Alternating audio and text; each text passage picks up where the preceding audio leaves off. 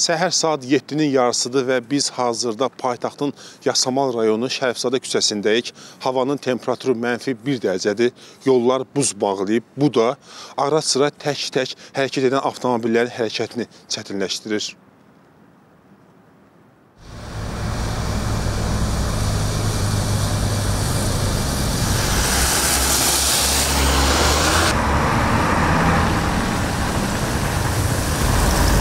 Yeni sürə bilməyənlər də var da. Bütün günü dünəndən baxsan şəhər də avariya içindədir. 9-cu mikrorayon bərbad gündədir, yeni Yasamal bərbad gündədir, Yasamal bərbad gündədir, baxmırlar da yollara.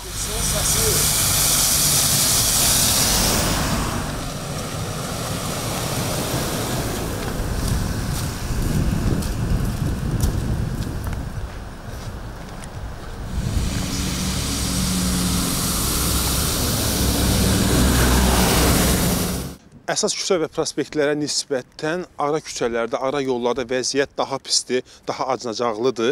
Bəli, baxın fikir verin. Havanın temperaturu aşağıdır, yol donub, buzluyub. Bu da istər avtomobillərin, istərsə də bu yolla getmək məcburiyyətində qalan piyadaların hərəkətini çətinləşdirir. Sürüşür adam oradan. Təmizləməyiblər, pis gündədir. Şaxta var, şaxta.